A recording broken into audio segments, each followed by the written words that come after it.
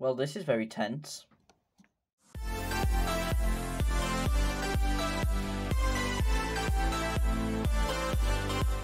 Hello YouTube, or should I say Merry Christmas YouTube, Conductor 165 here, and as you saw from that very creepy intro, we're talking about the cause of mayhem on the railway, the troublesome trucks.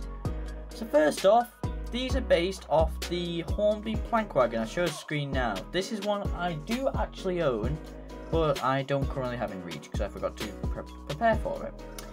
However, as for information on this and on these trucks, should I say, they were first produced in 1990 for the Wind Up Hornby collection. Now, I do have a Wind Up Hornby Thomas, which I will be talking about at a later date, which will be in the vote at some point.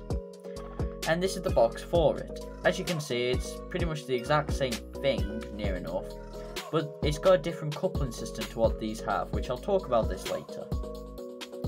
Then these trucks were released in 2001 for the Hornby Electric variation, which is what these are.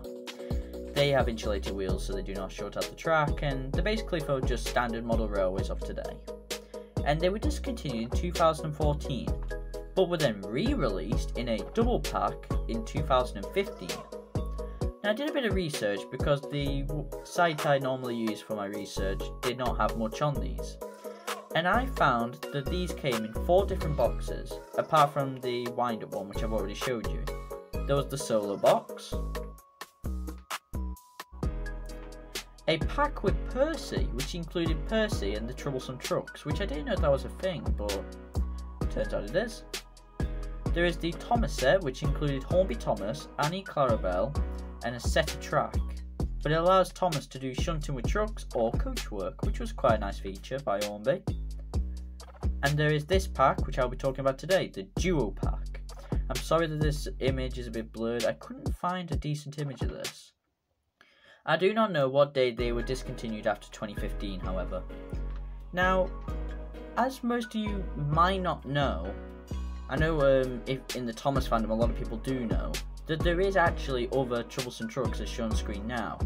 These were based off smaller Hornby trucks and had printed on faces, whereas the ones be talking about today have moulded faces.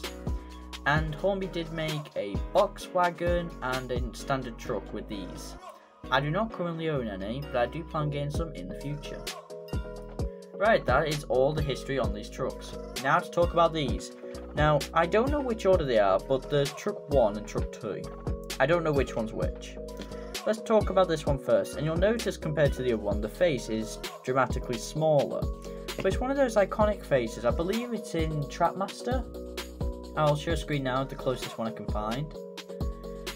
But what gets me is that it's very square compared to this one. This one's more rectangular to fit a bigger face on it.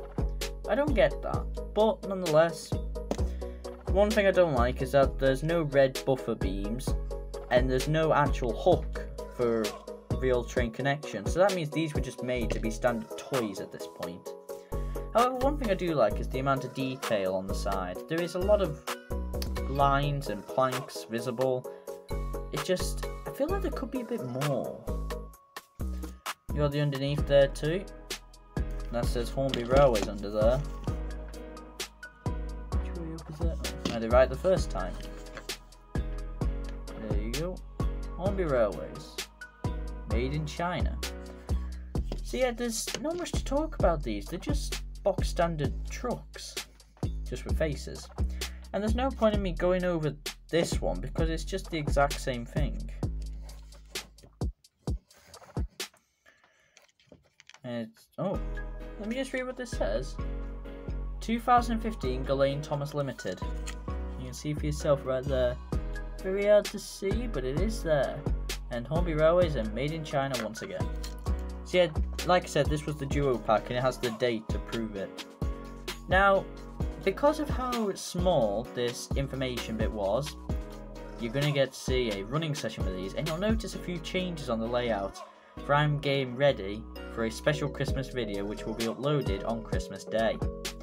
So if you're excited for that, subscribe, like, check out my Instagram and Twitter where you will be seeing a few secrets or sneak peeks of this upcoming Christmas special. So yeah, thanks for watching, enjoy the running session, Merry Christmas!